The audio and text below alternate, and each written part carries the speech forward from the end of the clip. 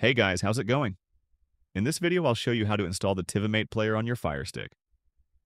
Keep in mind that the player itself doesn't offer any channels. You'll need to get an IPTV subscription for that. Start by heading over to this Find icon and searching for an app called Downloader. After typing the first few letters, you'll find it in the results. Click on it again and now press the Download or Get option. This will take a couple of seconds. Once downloaded, press the Home button on your Fire Stick remote and head over to Settings. Select My Fire TV from the options. Click About. Here you will see your Fire Stick model. You'll need to click on it eight times continuously until you see this message which says you are already a developer.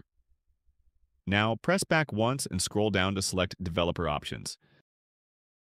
Select Unknown Sources and then turn the permission on for Downloader to install unknown apps on your device. Alright, now head back to the Home menu and launch the Downloader app.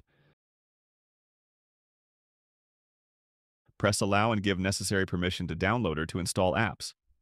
Now click on the search icon and type the code 5546232 and hit Go.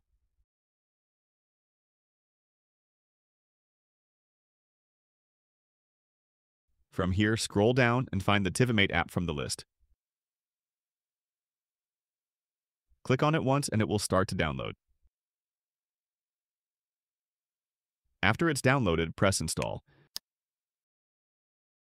Now press Delete twice to delete the APK files to clear space on your device. Now press Home and scroll over to your Apps menu. Here you will find the Tivimate app from the list. So I hope you like the video. Follow my website for in-depth and unbiased reviews of over 300 IPTV services. Like and subscribe to the channel, and I'll see you next time.